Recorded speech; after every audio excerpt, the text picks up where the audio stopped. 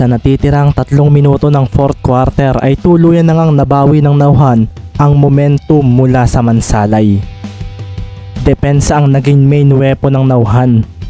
At ito ang palaging nananaig sa kanila sa mga crucial games. Isa ngang malaking tulong para kay Romero ito. Kasi kahit hindi makapuntos ang mga kasama niya, ay maaasahan naman sila sa depensa. Walang kapaguran din ng mga ito at inspirado na hindi matalo dahil ito na rin ang posibleng huling game na makakasama nila si Maki. Dahil daw kay Romero ay nagkaroon ng malaking pagbabago sa Nauhan Exterminators at natutuwa silang mabaon ito sa susunod pang mga season. Si Captain Maki raw ang nagpataas ng kumpiyansa nila bilang manlalaro at ang magandang depensa ang pinakang maiitulong nila rito. Malaking bagay nga rin ang pagkawala ni Magbuo sa lineup dahil mas naging komportable silang atakihin ang painted area. Naging maganda rin ang depensa nila sa mga scorers ng Mansalay.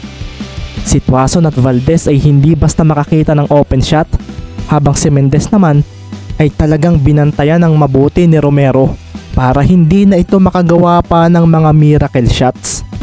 Bahagyang pumangit ang shooting ng Black Knights at 6 points pa lang ang nagagawa nila sa kabuuan ng 4th quarter hanggang sa mga oras na ito. Kailangan na nga ni Coach Isaiah na paglaruin si Magbuo. Mismatch na mismatch kasi si Punsalan kay Nerio at ganito rin ang nangyari noong unang game. Makikita nga rin ang pagod kay Tuason at parang kailangan na rin niya munang pagpahingahin ito. Si Ricky naman, matapos uminom ng tubig ay huminga ng malalim. Tumingin siya sa scoreboard at ikinalma ang sarili. Hindi pa tapos ang game. Hindi pa kami talo. Kailan ba ako nawalan ng pag-asa? Wika nga ni Ricky sa sarili. Hindi niya maintindihan pero pakiramdam niya ay ang bulok ng naging laro niya kung kailan patapos na ang game. Pakiramdam nga niya ay nakaharang pa rin sa kanya si Kuya Maki niya habang siya ay nakaupo. Talagang seryoso itong talunin siya sa larong ito. Okay ka lang ba Ricky? Tanong naman ni Coach Cervantes dito at si Ricky naman ay napangiti at tumango. Okay lang po coach. Sabi ni Mendez na tumayo na nga at sandaling pinagmasdan ng crowd na nasa likuran ng kanilang bench. Hindi ko dapat biguin ng mga ito ngayong game 2. Wala nang sunod after nito kung matatalo kami. Ang sinabi ko sa nanay at tatay ko na kami na ang mananalo. Narito si Andrea at ang pangit naman kung matatalo kami rito. Wika nga niya sa sarili at bigla siyang may naisip na gawin ng sandaling iyon. Napatingin tuloy sa kanya ang mga kasama niya nang umalis siya mula sa bench. Nagpunta siya sa audience area at ang mga naroon ay napaseryoso nang lumapit si Mendez sa isang pwesto roon. Anong ginagawa mo rito? Matatapos na ang timeout ninyo. Bulalas nga ni Andrea. Si Ricky nga ay napatingin muna sa kanyang magulang at pagkatapos noon ay sa mga mata na ni Andrea siya tumuon. Sampalin mo nga ako Andrea. Seryosong wika ni Mendez na ikinagulat ng dalaga at ng katabi nitong si Andre. Ang nanay nga niya ay parang bahagyang nanlaki ang mata dahil sa kanyang winika. Hoy, anong kalokohan niyan Ricky? Mahiya ka naman ang daming tao rito. Ayaw ko. Sabi ni Andrea na nagsusuplada ang tono. Sige na, parang gaya lang ng ginagawa mo noon para magising ang strongest mood sa akin. Tama na Ricky, para kang baliw. Bulalas ni Andrea at si Ricky nga ay masyadong mapilit at lumapit palalo. Sige na, parang iyon kasi ang trigger para magkaroon ng miracle. Natatawang wika pa nga ni Ricky at maya maya pa ay sumilbato na nga ang referee. Sina Coach Isaiah nga ay napatingin sa direksyon kung nasaan si Mendez. Sina Gerald nga ay napaseryoso nang makita nila si Ricky sa harapan ng dati nilang coach na parang may nangyayaring komprontasyon. Alam mo Ricky nakakainis ka. Wala nang need para matrigger ang mga ganoon. Hindi ka nagaya noong nasa sisa ka. Iba ka na ngayon. Kayang kaya mo nang ipanalo ang isang team. Nasa iyo na ang lahat ng kailangan mo. Wala na akong pwedeng i-advise sa iyo dahil nasa iyo na ang mga attributes ng pagiging magaling na basketball player. Hindi ka na rin bata para sa mga ganyan. Gusto mong manalo? Isipin mo kung paano ka nagsimula. Isipin mo rin ang ilang taong kang nawala. Isipin mo rin ang pagbabalik mo. At ngayon, tingnan mo ako. Bagyang lumambing ang boses ni Andrea. At ang mga sunod na nangyari ang ikinaseryoso ng mga manunood na naroon. Ang mga kababaihan ay nakaramdam ng kilig habang ang mga kalalakihan ay napakantyaw dahil sa tuwa. Ang mga nasa malayo nga ay napatingin din sa bahaging iyon kung saan ay may mga sumisigaw na ng sana all. Ayan, okay na. Nakangiting tanong ni Andrea na namumula ang mukha dahil sa kanyang ginawa. Ginawaran kasi niya ng mainit na halik sa labi si Ricky sa harapan ng maraming taong malapit sa kanila. Ang lupit nga rin pala ng tol Ricky. Talagang duremdes din siya pagdating sa pagpili ng babae. Bulalas na nga lang ni Lionel habang si Baro naman ay napailing na lang dahil nakaramdam siya ng inggit. Napakaswerte talaga ni Kuya Ricky. Sabi naman ni Romeo na ikinasama ng tingin ni Baron dito. Matapos nga iyon ay doon na rin unti-unting kumalat ang papalakas ng papalakas na chant para kay Mendez. Ricky Mendez! Ricky Mendez! Ricky Mendez! Kinalampag nila ang buong venue at dito nga si Ricky napailing at napatingin kay Andrea. Inamangan pa nga siya ng kamao nito at sinabing pumunta na sa court dahil baka matawagan pa sila ng delaying of the game. Si Ricky nga bago bumalik sa bench nila ay huminga pa ng malalim at pagkatapos noon ay bigla siyang sumigaw sa harapan ng mga manonood na naroon. Mahal na mahal kita Andrea Cervantes. Pangako, kami ang mananalo rito. Malakas niyang wika at sumabog ang kinikilig na kantsaw ng mga naroon. Ang mga taga Balugo NHS nga ay ngiting-ngiti sa ginawa ni Sir Ricky. Sira, siguruhin mo lang, lagot ka sa akin kapag hindi mo yan nagawa. Bulalas pa ni Andrea na hindi malaman kung mahihiya o matutuwa. Kung maiinis ba o kikiligin sa ginawa ni Ricky na kalokohan. Pasalamat ka, need kong mag-behave. Kasi kung hindi ako buntis, baka ako ang number one na sisigaw sa iyo mula sa bench ninyo.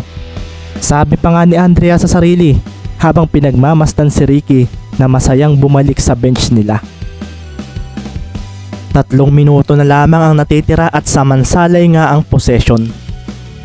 Game na team, Malakas na wika ni Ricky na ikinaseryoso ng mga kasamahan niya.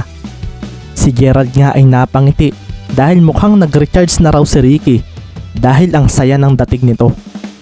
Napatingin din tuloy siya sa pwesto ni Kat at nakita niya ngumiti ito sa kanya. Game na rin ako. Sabi pa nga ni Gerald habang ang kapatid naman niyang si Andrew ay lakas loob ding tumingin sa kanyang mga kakilala sa Balugo NHS. Si Lia ang kanyang hinanap kaso ang sumigaw para sa kanya ay sina Stephen at ang kanyang mga kaklase. Natabunan ng pagtayo ng mga ito ang gusto niyang tingnan at napailing na nga lang siya dahil doon. Mendez, Salome, Valdez, Alcoba magbuo. Kasapaw Romero, Garejo, Ledesma, Nerio naman ang lineup ng nauhan. Ang crowd nga ay nagpakawala ng nakakabinging cheer para sa mga sinusuportahan nilang team. Naipasok nga ni Romero ang bonus shot at ito na nga ang naging dahilan upang makalamang na sila ng isa 99 to 98. Pagkasambot naman nga ni Ricky sa bola ay huminga siya ng malalim. Si Maki Romero nga ay heto na at dedepensahan kaagad siya. Isang simpleng ngiti muna ang ibinigay ni Romero kay Ricky at pagkatapos noon ay dito na siya naging agresibo. Si Mendez ay mabilis na iniiwas ang bola mula sa kanyang katapat at sa paglampas niya sa gitna ay dito naman kaagad na tumakbo si Andrew para sa screen at switching. Inilayo ni Andrew si Maki at ngayon nga ay si Leo Kasapaw na nga ang kaharap ni Mendez. Dito na nga rin lumakas ang chant para kay Mendez at isang bigla ang pagdribble sa bola ang kanyang ginawa. Pinatalbog niya ito sa kanyang likuran at isang mabilis sa paglampas ang ginawa niya kay Kasapaw. Ginamitan din niya ito ng paghawi at sa pagdiretso niya ay bigla namang lumitaw si Maki Romero. Napaseryoso si Ricky at agad na tumalon upang hanapin si Andrew. Isang extra pass ang kanyang ginawa at dito nga ay agad itong sinambot ni Salome. Humabol naman agad dito si Kasapaw at walang ano-ano nga'y agading tumalon si Andrew at nagpakawala ng tres. Kinalampag noon ng ring na ikinahinayang nito. Sumablay ang tres na iyon at ngayon nga ay makikita agad ang pag-box out ni Magbuo kay Neryo. Naunahan ako, sabi nga ni Neryo sa isip. Kaso, bigla naman niyang hinila ng pasimple ang jersey ni Magbuo nang tatalo na ito. Hindi ito nakita ng referee at na-delay nga ang pagtalo ni Marlon dahil doon. Iyon din ang naging dahilan upang biglang lumitaw si Garejo upang siya ang kumuha ng rebound. Napakuyom naman si Magbuo sa nangyari. Agad nga siyang humakbang para si Garejo ay puntahan. Si Alcoba naman ay mabilis na kumilos para subukang agawin ang bola mula rito. Kaso, sa paglapit nilang dalawa, na isang bigla ang pag-iwas ang ginawa ni Dexter. Isang mabilis sa pagbato rin sa bola ang kanyang ginawa dahil si Maki ay kasalukuyan ng tumatakbo papunta sa kanilang side. Sorry Ricky, pero tatapusin na namin ang final sa larong ito. Sabi ni Maki sa sarili at mabilis niyang pinatalbog ang bola habang nasa tabi niya si Mendez na hinahabol siya. Bumigla ng hinto si Maki. Sa pagdiretso ni Mendez ay ito na ang ginamit niyang pagkakataon para makapuntos. Isang step back ang ginawa ni Maki at dito nga ay agad siyang tumalon at pinakawala ng bola mula sa kanyang palad. Si Ricky naman ay napakuyom at dahan-dahang napangiti sa biglaang paglitaw ni Valdez sa likuran ni Romero. Isang block from behind ang ginawa ni Valdez na kinagulat ni Maki.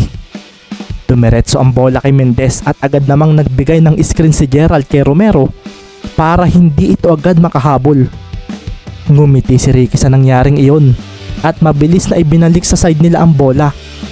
Si Maki ay mabilis naman tumakbo para harangan siya kaso bumigla ng atake si Mendez at doon ay dumiretso siya sa basket nang walang takot.